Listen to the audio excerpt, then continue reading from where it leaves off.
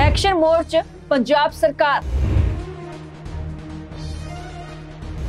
ਅਫਸਰਾਂ ਨੂੰ ਜਾਰੀ ਕੀਤੇ ਨਵੇਂ ਹੁਕਮ।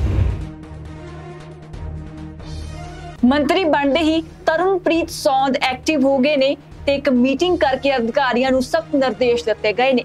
ਤੇ ਨਾਲ ਹੀ ਇੱਕ ਵਾਰਨਿੰਗ ਦਿੱਤੀ ਗਈ ਹੈ ਤੇ ਕਿਹਾ ਗਿਆ ਹੈ ਕਿ ਜਿਹੜੇ ਵੀ ਅਧਿਕਾਰੀ ਇਹਨਾਂ ਨਿਰਦੇਸ਼ਾਂ ਦੀ ਪਾਲਣਾ ਨਹੀਂ ਕਰਨਗੇ, ਉਹਨਾਂ ਦੇ ਖਿਲਾਫ ਸਖਤ ਕਾਰਵਾਈ ਹੋਵੇਗੀ। ਪਰ ਕਿਹੜੇ ਵਿਭਾਗ ਦੇ ਅਫਸਰਾਂ ਨਾਲ ਮੰਤਰੀ ਦੇ ਵੱਲੋਂ ਮੀਟਿੰਗ ਕੀਤੀ ਗਈ ਹੈ ਤੇ ਕਿਹੜੇ ਸਖਤ ਨਿਰਦੇਸ਼ ਜਾਰੀ ਕੀਤੇ ਗਏ ਨੇ, ਇਹੀ ਜਾਣਦੇ ਹਾਂ ਇਸ ਰਿਪੋਰਟ ਤੇ ਰਾਹੀਂ। ਪੰਜਾਬ ਦੇ ਪੂੰਜੀ ਨਿਵੇਸ਼ ਪ੍ਰੋਤਸਾਹਨ ਅਤੇ ਉਦਯੋਗ ਤੇ ਕਾਮਰਸ ਮੰਤਰੀ ਤਰਨਪ੍ਰੀਤ ਸਿੰਘ ਸੌਨ ਨੇ ਸੂਬੇ ਵਿੱਚ ਉਦਯੋਗਾਂ ਲਈ ਹੋਰ ਸੁਖਾਵਾਂ, ਪਾਰਦਰਸ਼ੀ ਤੇ ਦਿੱਕਤ ਰਹਿਤ ਮਾਹੌਲ ਬਣਾਉਣ ਲਈ ਵਿਭਾਗ ਦੇ ਉੱਚ ਅਧਿਕਾਰੀਆਂ ਨੂੰ ਦਿਸ਼ਾ ਨਿਰਦੇਸ਼ ਜਾਰੀ ਕੀਤੇ ਨੇ। ਸੈਕਟਰ 17 ਸਥਿਤ ਉਦਯੋਗ ਭਵਨ ਵਿਖੇ ਪੂੰਜੀ ਨਿਵੇਸ਼ ਪ੍ਰੋਤਸਾਹਨ, ਉਦਯੋਗ ਤੇ ਕਾਮਰਸ ਇਨਵੈਸਟ ਪੰਜਾਬ ਅਤੇ ਉਦਯੋਗ ਵਿਭਾਗ ਨਾਲ ਸੰਬੰਧਿਤ ਕਾਰਪੋਰੇਸ਼ਨਾਂ ਤੇ ਬੋਰਡਾਂ ਦੇ ਉੱਚ ਅਧਿਕਾਰੀਆਂ ਦੀ ਸਮੀਖਿਆ ਮੀਟਿੰਗ ਦੌਰਾਨ ਸੌਨ ਨੇ ਕਿਹਾ ਹੈ ਕਿ ਸੀਐਮ ਮਾਨ ਵੱਲੋਂ ਜਾਰੀ ਨਿਰਦੇਸ਼ਾਂ ਅਨੁਸਾਰ ਪੰਜਾਬ ਨੂੰ ਸੰਤੀ ਖੇਤਰ ਵਿੱਚ ਅਵਲ ਨੰਬਰ ਤੇ ਲੈ ਕੇ ਜਾਣਾ ਉਹਨਾਂ ਦੇ ਟੀਚਿਆਂ ਦੇ ਵਿੱਚ ਸ਼ਾਮਿਲ ਹੈ। ਇਸ ਮਕਸਦ ਦੀ ਪੂਰਤੀ ਲਈ ਸੌਨ ਨੇ ਸਾਰੇ ਅਧਿਕਾਰੀਆਂ ਨੂੰ ਤਨਦੇਹੀ ਅਤੇ ਇਮਾਨਦਾਰੀ ਨਾਲ ਸਾਥ ਦੇਣ ਤੇ ਲਈ ਕਿਹਾ ਹੈ। ਅਧਿਕਾਰੀਆਂ ਨੂੰ ਸੰਬੋਧਨ ਹੁੰਦਿਆਂ ਸੌਨ ਨੇ ਕਿਹਾ ਹੈ ਕਿ ਉਦਯੋਗਾਂ ਨਾਲ ਸੰਬੰਧਿਤ ਸਰਕਾਰੀ ਸਕੀਮਾਂ, ਨੀਤੀਆਂ ਤੇ ਯੋਜਨਾਵਾਂ ਹੇਠਲੇ ਪੱਧਰ ਦੇ ਉਦਯੋਗਾਂ ਤੱਕ ਪਹੁੰਚਾਉਣ ਲਈ ਹੋਰ ਹੰਬਲੇ ਮਾਰਨ ਦੀ ਲੋੜ ਹੈ।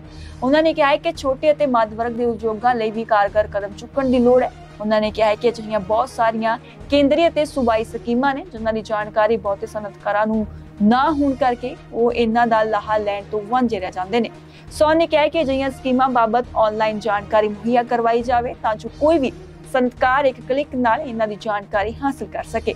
ਉਹਨਾਂ ਨੇ ਕਿਹਾ ਹੈ ਕਿ ਇਨਵੈਸਟ ਪੰਜਾਬ ਦੀ ਵੈਬਸਾਈਟ ਤੱਕ ਵੀ ਇੰਟਰਨੈਟ ਵਰਤੋਂਕਾਰਾਂ ਦੀ ਸੁਖਾਲੀ ਪਹੁੰਚ ਲਈ ਕਾਰਗਰ ਕਦਮ ਚੁੱਕੇ ਜਾਣ ਤਾਂ ਜੋ ਦੁਨੀਆ ਭਰ ਦੇ ਉਦਯੋਗਪਤੀ ਜੇਕਰ ਨਿਵੇਸ਼ ਲਈ ਸਭ ਤੋਂ ਉੱਤਮ ਥਾਵਾਂ ਦੀ ਸਰਚ ਕਰਨ ਤਾਂ ਪੰਜਾਬ ਦਾ ਨਾਮ ਪਹਿਲੇ ਨੰਬਰ ਤੇ ਆਵੇ।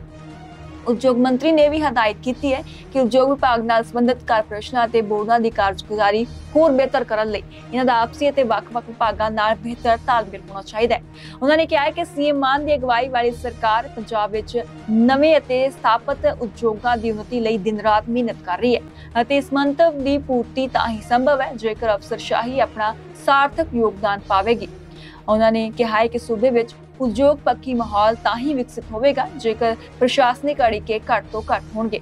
ਉਹਨਾਂ ਪੰਜਾਬ ਨੂੰ ਸਭ ਤੋਂ ਉੱਤਮ ਉਦਯੋਗਿਕ ਸੂਬਾ ਬਣਾਉਣ ਲਈ ਅਫਸਰਾਂ ਨੂੰ ਸਮਰਪਿਤ ਭਾਵਨਾ ਨਾਲ ਕੰਮ ਕਰਨ ਲਈ ਪ੍ਰੇਰਿਤ ਕੀਤਾ ਤਾਂ ਕਿ ਸੂਬੇ ਦਾ ਚਾਰਾ ਹੋਰ ਮਜ਼ਬੂਤ ਹੋਵੇ।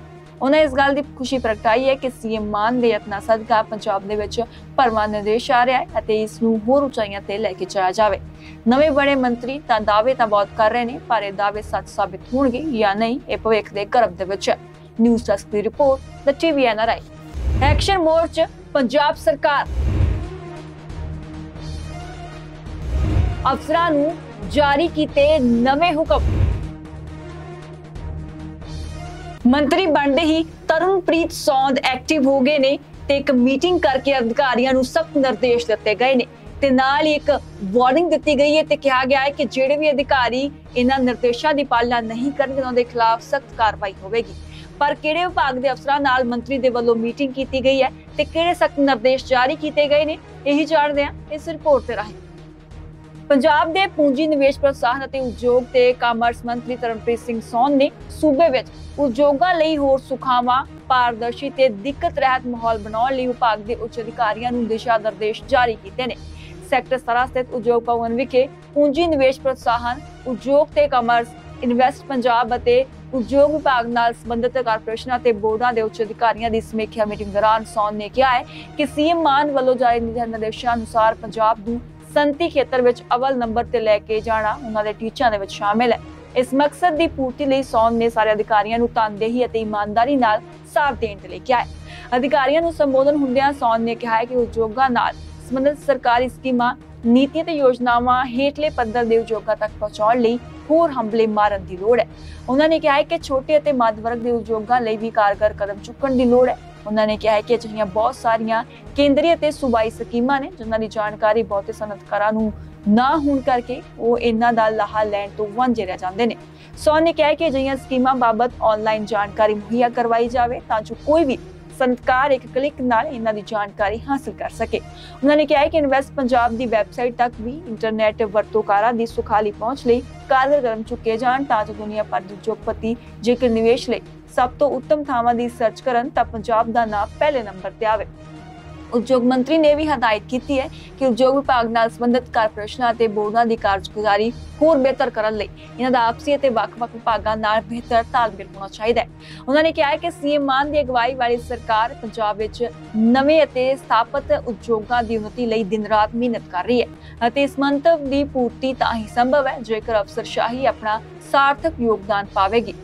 ਉਹਨਾਂ ਨੇ ਕਿਹਾ ਹੈ ਕਿ ਸੂਬੇ ਵਿੱਚ ਉਦਯੋਗ ਪੱਖੀ ਮਾਹੌਲ ਤਾਂ ਹੀ ਵਿਕਸਿਤ ਹੋਵੇਗਾ, ਜੇਕਰ ਪ੍ਰਸ਼ਾਸਨਿਕ ਅੜਿੱਕੇ ਘੱਟ ਤੋਂ ਘੱਟ ਹੋਣਗੇ। ਉਹਨਾਂ ਪੰਜਾਬ ਨੂੰ ਸਭ ਤੋਂ ਉੱਤਮ ਉਦਯੋਗਿਕ ਸੂਬਾ ਬਣਾਉਣ ਲਈ ਅਫਸਰਾਂ ਨੂੰ ਸਮਰਪਿਤ ਭਾਵਨਾ ਨਾਲ ਕੰਮ ਕਰਨ ਲਈ ਪ੍ਰੇਰਿਤ ਕੀਤਾ ਤਾਂ ਕਿ ਸੂਬੇ ਦਾ ਚਾਰਾ ਹੋਰ ਮਜ਼ਬੂਤ ਹੋਵੇ। ਉਹਨਾਂ ਇਸ ਗੱਲ ਦੀ ਖੁਸ਼ੀ ਪ੍ਰਗਟਾਈ ਹੈ ਕਿ ਸੀਐਮ ਮਾਨ ਦੇ ਯਤਨਾਂ ਸਦਕਾ ਪੰਜਾਬ ਦੇ ਵਿੱਚ ਭਰਵਾਂ ਨਿਰਦੇਸ਼ ਆ ਰਿਹਾ ਹੈ ਅਤੇ ਇਸ ਨੂੰ ਹੋਰ ਉਚਾਈਆਂ ਤੇ ਲੈ ਕੇ ਜਾਇਆ ਜਾਵੇ। ਨਵੇਂ ਬਣੇ ਮੰਤਰੀ ਤਾਂ ਦਾਅਵੇ ਤਾਂ ਬਹੁਤ ਕਰ ਰਹੇ ਨੇ, ਪਰ ਇਹ ਦਾਅਵੇ ਸੱਚ ਸਾਬਿਤ ਹੋਣਗੇ ਜਾਂ ਨਹੀਂ, ਇਹ ਭਵਿੱਖ ਦੇ ਗਰਭ ਦੇ ਵਿੱਚ ਹੈ। ਨਿਊਜ਼ ਡੈਸਕ ਦੀ ਰਿਪੋਰਟ ਦ ਟੀਵੀ ਐਨਆਰਆਈ